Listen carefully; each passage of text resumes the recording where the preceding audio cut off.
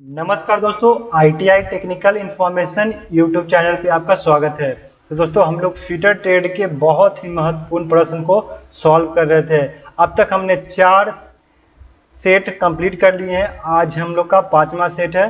तो चलिए शुरू करते हैं। और इससे पहले आप इन सेट का नहीं देखे हैं तो आप प्लेलिस्ट में इसका अवेलेबल है, जाकर देख सकते हैं। तो चलिए शुरू करते हैं। आज का पहला प्रश्न है कि which type of key use if the hub of pulley has to actually slide on the shaft to some distance यदि हब या पुल्ली को अच्छे रूप से कुछ दूरी तक साफ्ट पर स्लाइड करना है तो किस प्रकार की की का प्रयोग यानी कुंजी का प्रयोग किया जाएगा?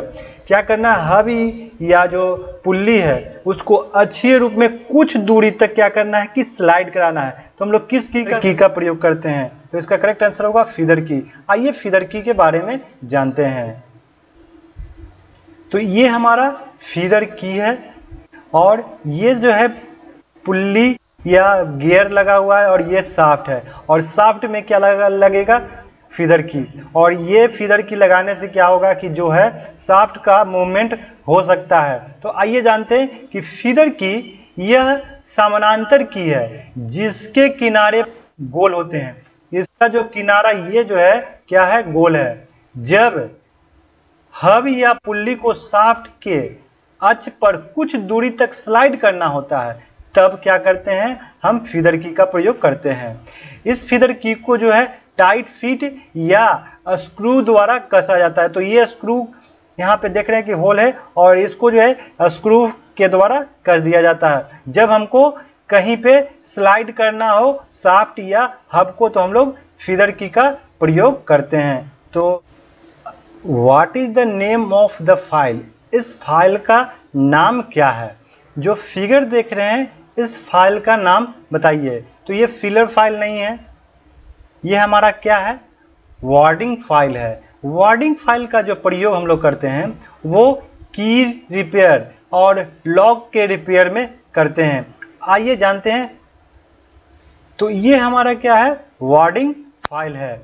वार्डिंग फ़ाइल का यह संकीर्ण जगह में फाइलिंग करने के लिए वार्डिंग फ़ाइल को एक बिंदु में टेपर्ड करते हैं। मतलब कि जहाँ पे संकीर्ण यानी कि कम जगह है, वहाँ पे फ़ाइल करना हो तो वहाँ पे क्या ये टेपर भाग है, वहाँ से वो फाइलिंग किया जाता है। इसमें द्विकर्तन फेस या एकल कर्तन फेस होते हैं। ताला मरम्मत में वार्डिंग फ़ाइल का प्रयोग करते हैं, या कुंजी में वार्डनक नोच फाइलिंग यानी कि कुंजी में क्या, यानी की में क्या होता है? देखते हैं कि वो नोच बना होता है या कीवे, की बना बना, कीवे बना होता है। वहाँ पर फाइलिंग करने के लिए हम लोग क्या करेंगे? वार्डिंग फ़ाइल का प्रयोग करेंगे। अगला प्रश्न है कि which nut protects the bolt in the thread from damage damage से कौन सा नट बोल्ट के सिरों की चूड़ियों को नुकसान होने से बचाता है। कि बोल्ट के सिरे की जो चूड़िया होती है, उसको नुकसान होने से बचाता है। तो इसका करेक्ट आंसर होगा ऑप्शन ए। कैप नट में क्या होता है कि उसके सिर पर एक राउंड टाइप का कैप लगा होता है, जिससे क्या होता है कि उसके सिरे का थ्रेड जो है, वो बच जाता है। चलिए अगले प्रश्न पे। अगला प्रश्न है कि which grade slip gauge is use for precision tool room application precision tool room के अनुप्रयोगों के लिए किस ग्रेड के स्लिप गेज का उपयोग किया जाता है? तो दोस्तों, हम लोग जानते हैं कि ग्रेड टू जो है, वो वर्कशॉप के लिए यूज़ जो जनरल वर्कशॉप होता है, वहाँ पे जो स्लिप गेज होता है, वो ग्रेड टू के यूज़ होते हैं। ग्रेड वन के जो होते हैं, वो हमारे प्रिसीजन टूल रूम में दिए जाते हैं। ग्रेड ज़ीरो जो होते हैं वो रेफरेंस के लिए यूज़ किए जाते हैं और ग्रेड डबल ज़ीरो जो होते हैं, वो कैलिब्रेशन में यूज़ किया जाता है।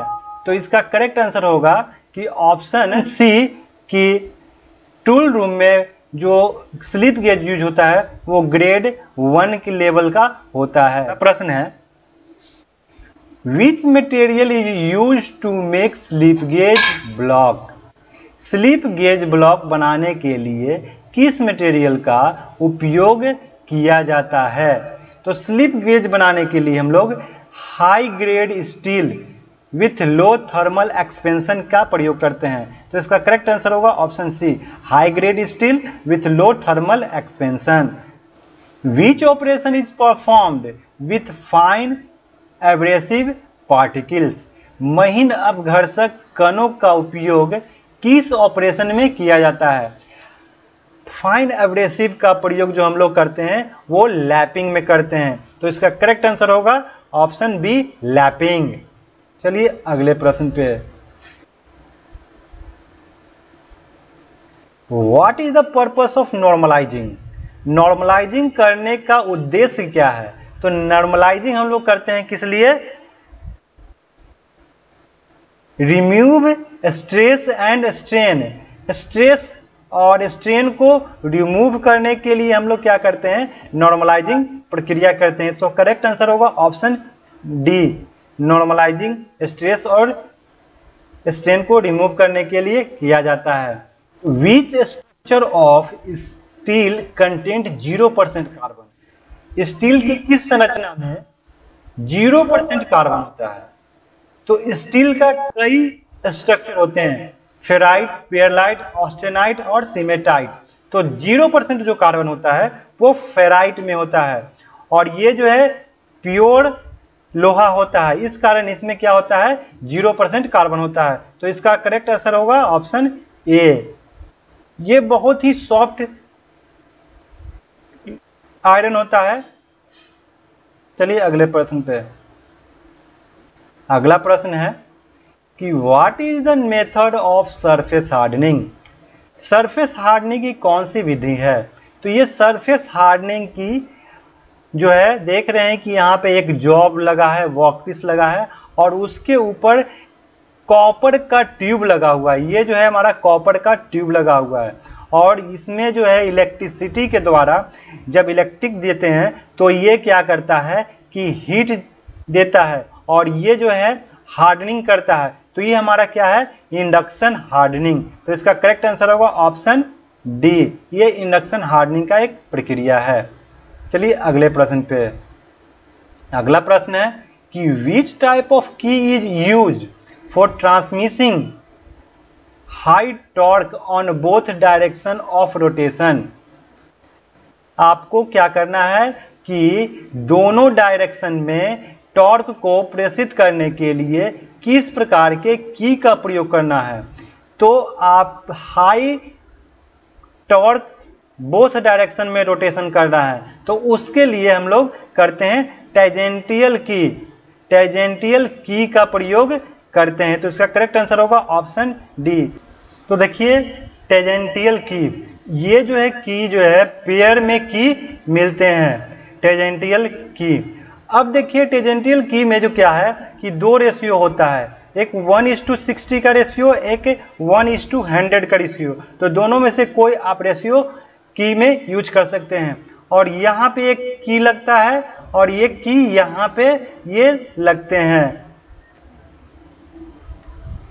इन की का उपयोग तब होता है जब इम्पैक्ट प्रकार के बहुत उच्च टॉर्क घूमने की दोनों दिशाओं में ट्रांसमिट करना हो। मतलब कि टॉर्क को क्या करना है कि दोनों दिशा में ट्रांसमिट करना होगा तो हम लोग क्या करते हैं टेजेंटियल की का प्रयोग करते हैं। इनके सामान्य अनुप्रयोग फ्लाई व्हील रोलिंग मिल्स इत्यादि में पाए जाते हैं कि what is the purpose of ring gauge ring gauge का उपयोग क्या है? तो रिंग गेज का उपयोग हम लोग करते हैं किसी भी साफ्ट का आउटर डायमीटर चेक करना। तो चेक साफ्ट डायमीटर, बाहरी व्यास की जाँच करने के लिए हम रिंग गेज का प्रयोग करते हैं। तो इसका करेक्ट आंसर होगा ऑप्शन बी। चलिए अगले प्रश्न पे। Which gauge use to check the accuracy of an internal thread आंतरिक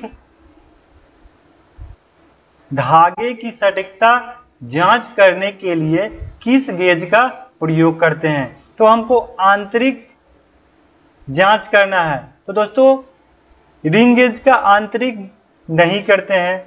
इसके लिए हम लोग बाहरी चलते हैं और यहाँ पे थ्रेड चेक करना, ये जो है साफ्ट का प्लेन साफ्ट को जाँच करने के लिए। स्नैप गेज का प्रयोग जो है वो बाहरी जाँच करने के लिए किया जाता है। थ्रेड रिंग गेज के लिए बाहरी थ्रेड जाँच करने के लिए यूज़ किया जाता है।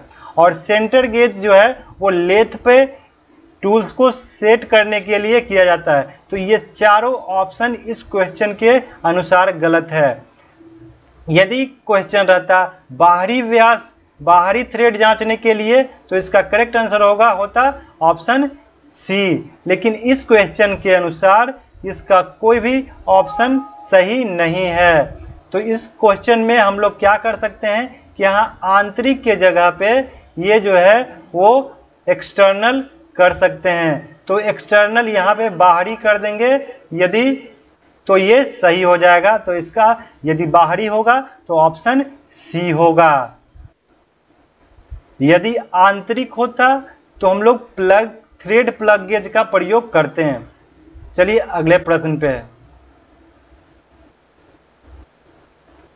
अगला प्रश्न है कि what is the name of the gauge gauge का नाम क्या है? तो ये गेज जो है, देख रहे हैं कि ये जो है टेपर में ये एक्सिस है। तो ये हमारा क्या है? टेपर रिंग गेज तो इसका करेक्ट आंसर होगा option C taper ring gauge अगला प्रश्न है कि what is the procedure to select the slip gauge for particular dimension विशेष आयाम के लिए स्लिप गेज का निर्माण करने की क्या विधि है?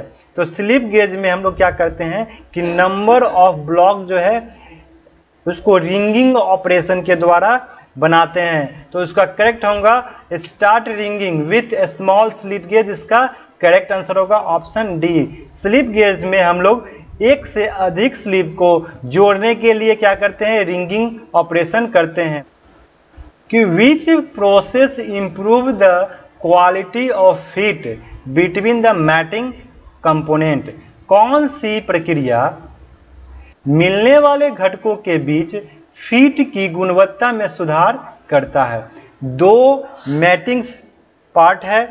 उसमें, इसमें जो क्वालिटी इंप्रूव करता है फिट में वो कौन सी प्रक्रिया है? तो उसके द्वारा हम लोग लैपिंग जो करते हैं, तब दो मिलने वाले मैटिंग कंपोनेंट होते हैं, उनका क्वालिटी क्वालिटी जो है इंप्रूव होता है। तो इसका करेक्ट आंसर होगा ऑप्शन डी तो दोस्तों, ये काफ़ी महत्वपूर्ण प्रश्न है। आपके आने वाले आईटीआई एग्ज़ाम सीटीआई एग्ज़ाम और अप्रेंटिसशिप के अलावा जितने भी प्रकार के आईटीआई लेवल के एग्ज़ाम होते हैं, उनके लिए बहुत ही महत्वपूर्ण प्रश्न है।